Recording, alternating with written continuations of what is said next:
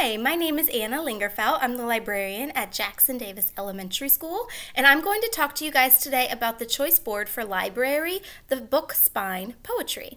Um, I'll be reading you the slide word for word, and then I'm going to show you a few examples of book spine poetry. April is School Poetry Month, and we decided to continue the celebration into May. Library Book Spine Poetry Learning Target. I can create my own found poems using book spines as inspiration. Book spine poetry is a type of found poetry. Step 1. Choose at least three books with interesting titles. Step 2. Rearrange the books from top to bottom until they make sense. Step 3. Feel free to swap out books until you like the sound of your poem. Step 4. Enjoy and share with your family and class. The HLP connection for this activity is communication, critical thinking, and creative thinking.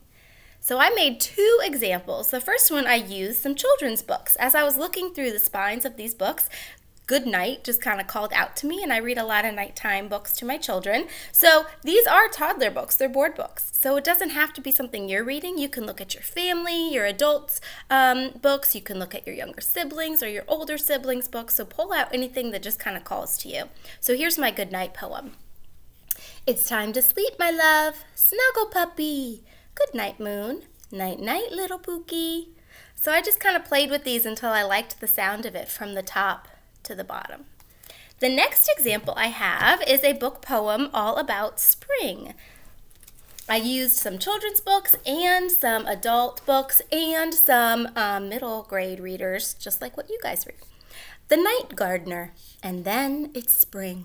All the colors of magic, wonder, the incredible magic of being so for this one, I saw all the colors of magic and immediately it reminded me of everything that's blooming outside right now. And so then when I had that idea, I started to look on my shelf for other books that could be used in a poem about spring.